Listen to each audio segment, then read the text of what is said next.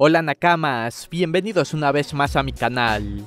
El día de hoy les vengo a hablar sobre el tema que generó más debate la semana pasada, y es referente a las tumbas que se vieron en el castillo de Oden, las cuales en sus lápidas se veía el nombre de Momonosuke, Kinemon, Kanjuro, Raishou y por supuesto Oden. En este video abordaré todas las posibilidades que expliquen este suceso, cómo fue el inicio entre la guerra de la familia Kousuki versus el Shogun y Kaido, además de un dato muy interesante que confirmaría algo con respecto al inicio de los Yonkou. En serio apreciaría muchísimo si ven completo el video, ya que me tomó un tiempo el prepararlo y si le dan like y comparten, ahí sí son los mejores. Antes de comenzar, si no estás suscrito al canal, te invito a que lo hagas, ya que subo videos de One Piece casi todos los días que estoy seguro te pueden gustar y te harán pasar un rato de entretenimiento. Ahora sí comencemos de lleno con el video. El capítulo 918 nos dejó con un final muy intrigante. Allí se vieron 8 tumbas a las afueras del castillo de Oden. De esas 8 tumbas solo se reconocieron el nombre de 5. Kousuki Oden, Kousuki Momonosuke, subordinado Kinemon, subordinado Kanjuro y subordinado Raishou. Los dueños entre comillas de las otras tres tumbas aún son desconocidos. Comencemos con descubrir a quién pertenecen estas tres tumbas misteriosas, ya que esto es clave para comenzar a descifrar todo este misterio. Lo que se sabe de estas tres tumbas misteriosas es que uno es miembro de la familia Kousuki y los otros dos son subordinados. El miembro Kousuki no es nada más ni nada menos que la madre de Momonosuke. Este ya confirmó que su madre había sido asesinada por Kaido, por ende no es de sorprenderse que una de estas tumbas sea la de ella. Las otras dos tumbas referentes a los subordinados tengo razón para creer que se tratarían de Nekomamushi e Inuarashi. El arco de Zou está plagado de pistas que relacionan a los gobernantes de Zou con estas tumbas y Wano. Primeramente, en el capítulo 809 nos confirmarían que Jack y los gobernantes de Zou ya se conocían anteriormente. Cuando Inuarashi se dirige a detener a Jack e iniciar un diálogo con él, ocurrió lo siguiente. Jack se pregunta quién demonios son los que se acercan, a lo que Inuarashi inicia diciendo, Jack, creo que era. Esto hace referencia a que si no mal recuerda, ese era el nombre de Jack como si no lo hubiera visto hace mucho tiempo y aunque lo conociera, le costaba recordar un poco su nombre. Posteriormente, cuando Jack lo ve detenidamente, se sorprende y le dice, Así que tú eres el rey de este país. En pocas palabras, Jack ya conocía con anterioridad a estos personajes. En el capítulo 817, luego de que Momonosuke apareciera frente a todos en Sou y tanto Nekomamushi como Inuarashi se reconciliaran, Kinemon aquí mantiene una conversación muy curiosa con ellos. Este dice lo siguiente, Estoy gratamente sorprendido de verlos vivos y pensar que estaban aquí. Inuarashi y Nekomamushi le responden lo siguiente, la muerte no nos llevará tan fácilmente, sabíamos que si manteníamos esas palabras en mente y esperábamos, sabíamos que nuestros caminos se cruzarían nuevamente.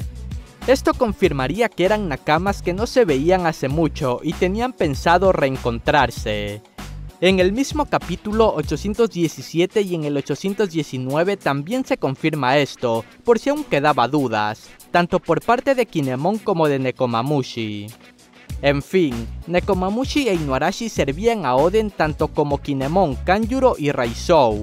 Por si fuera poco, los gobernantes de Sou viajaron por el mar acompañando a Oden en los barcos de Shirohige y Roger.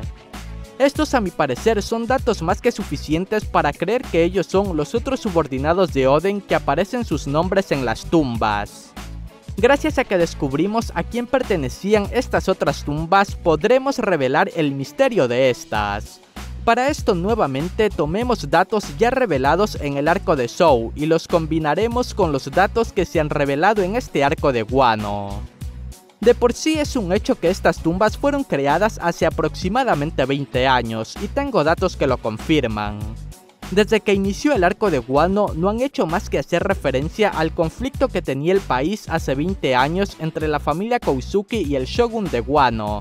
Además las tumbas vistas en el castillo de Oden están muy deterioradas por el paso del tiempo. Muchos dirán, Raisax, esas no son pistas suficientes para confirmar que las tumbas fueron creadas hace 20 años, pues aquí les va otro bombazo. En el capítulo 817, Momonosuke al ver las constantes peleas entre Inuarashi y Nekomamushi les dice que se detengan, ya que ellos anteriormente eran buenos amigos y no va a permitir que continúen con ello, y más aún si la razón de su discusión es por su padre Oden. Para reforzar que estas peleas entre los dos vienen siendo desde hace 20 años, Pedro mencionó que efectivamente ellos eran buenos amigos, pero un día ellos regresaron después de un viaje muy largo apenas aferrándose a sus vidas, e incluso en ese estado se atacaban con las intenciones de matarse. Según ellos, esto fue antes de que Carrot naciera y tanto Pedro como Wanda no eran más que unos niños. Recordemos que Pedro era un niño en la época de Roger, hace 25 años. Bien, con estas pistas es suficiente para iniciar con la teoría de cómo se dio todo el conflicto en Guano entre la familia Kousuki versus el Shogun y Kaido. Oden Kousuki hace aproximadamente 25 años salió de Guano para iniciar un viaje con Roger hacia Raftel, Odin ya era alguien de suma importancia en este reino, y por la forma en como el shogun y los otros gobernantes manejaban el país, él les llevaba la contraria. El dejar el país de Guano es considerado un crimen según Kanjuro, por lo que al momento de que Oden partió con Roger, se podría decir que fue la gota que derramó el vaso por parte de este personaje. Una vez volvió de su aventura, es que comenzaron ya todos los conflictos entre esta familia y el reino de Guano. Esta pudo haber sido una guerra civil que duró aproximadamente 5 años. Esta guerra civil daría fin con la muerte de Oden Kousuki a manos de Kaido, el cual se uniría al shogun para gobernar Guano. La intromisión de Kaido en este conflicto pudo haberse suscitado a raíz de la muerte de Roger. Con la caída del rey de los piratas, los mares del Nuevo Mundo entraron en un juego entre comillas por el dominio de todos estos territorios. Ya que la familia Kousuki tenía muchos seguidores, el shogun y demás gobernantes no eran suficientes como para derrotarlos y terminar con esta guerra. Es por eso que pudieron aceptar la alianza con el actual Yonkou Kaido. Kaido al entrometerse en esta guerra como aliado del shogun buscaba que Wano se convierta en uno de sus territorios como Yonkou. Para explicar esto, en el libro Vibrecard que salió a la venta este mes se revelaron datos muy importantes con respecto a Shanks, y es que este pirata ya era un Yonkou hace más de 13 años. Eso quiere decir que desde la muerte de Roger, los piratas ya se movilizaron para conquistar territorios, por lo que los Yonkou pueda que existan desde hace aproximadamente 20 años. En la descripción les dejo el video sobre los datos revelados en esta revista, los cuales son muy interesantes. Bueno, el que Kaido haya intervenido hace 20 años en la guerra civil de Guano solo nos indica que este ya estaba conquistando territorios para ser emperador. Ahora continuamos con las tumbas. Por alguna razón, solo dos de las ocho tumbas estarían habitadas con cadáveres. En este caso, Oden Kousuki y su esposa.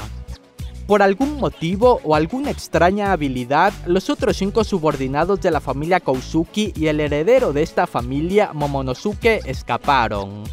La batalla fue tan feroz que Inuarashi y Nekomamushi lograron escapar por poco de la muerte, y en vista de que no pudieron proteger a su amo Oden, ellos se guardaron rencor. Eso explicaría por qué Momo pensó que el motivo de sus peleas eran debido a su padre y lo que sucedió. También el que estos gobernantes de Guano estuvieran involucrados en esta guerra civil explicaría por qué Jack logró reconocer a Inuarashi y viceversa. Ahora bien, ¿cómo lograron escapar Momonosuke, Kinemon, Kanjuro y Raizou? Se supone que si todo esto ocurrió hace 20 años, Momonosuke tendría que tener aproximadamente 28 años. Pero sigue siendo un niño. Es más, Kinemon Ensou confirmó que Momonosuke tiene actualmente 8 años. Además, otro dato curioso es que Momonosuke mencionó que también conoció al rey de los piratas Roger, lo cual por su edad actual es prácticamente imposible, a no ser que efectivamente haya vivido hace más de 20 años. Cuando salió el capítulo donde Momonosuke mencionó esto, fue visto como una malinterpretación por parte de Momo, ya que Ace también estuvo en este reino hace unos años atrás y se pensó que pudo confundirlo con él. Aunque ahora todo indicaría que efectivamente tanto Momonosuke como el resto de sus guardianes vivieron hace 20 años, y por una extraña razón lograron como transportarse al futuro mientras escapaban de Kaido. Al no encontrar sus cuerpos, o lo más lógico, al ver que se les escaparon, tanto Kaido como los gobernantes de Wano optaron por crear unas tumbas con el nombre de Momo y demás subordinados de Oden, para enterrarlos con el líder de la familia Kousuki como muestra de lo que ocurrirá si alguien se opone a los nuevos gobernantes de Wano. La verdad no me quiero mojar al decirles cómo es que Momonosuke y el resto lograron llegar 20 años al futuro. Mejor me espero a ver cómo Oda nos explica todo esto. Hace unos dos días atrás quizás veía ridícula la idea de un poder capaz de viajar al futuro, pero luego de ver una escena de Nekomamushi luego de que Momo mencionó que conoció a Roger me hizo dudar.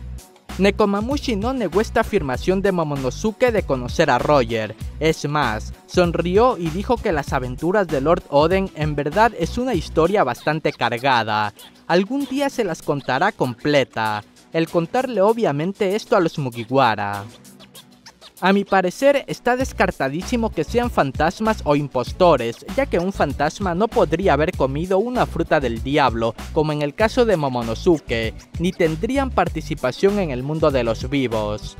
Y no pueden ser impostores, ya que Nekomamushi e Inuarashi los reconocieron. Además, Momonosuke pudo escuchar a Sunisha en Show y ordenarle. En fin, aquí les dejo toda la información que recopilé en base a leerme nuevamente el arco de Show y relacionarlo con lo ya visto en este arco. Coméntenme todas sus opiniones con respecto a este video, y ustedes cuál creen que sea el misterio de estas tumbas. Espero les haya gustado este video, si fue así, no olvides darle me gusta y compartirlo con todos tus amigos amantes de One Piece. Si no estás suscrito al canal te invito a que lo hagas para que estés al pendiente de futuras noticias y teorías. Muchas gracias por ver este video. Adiós.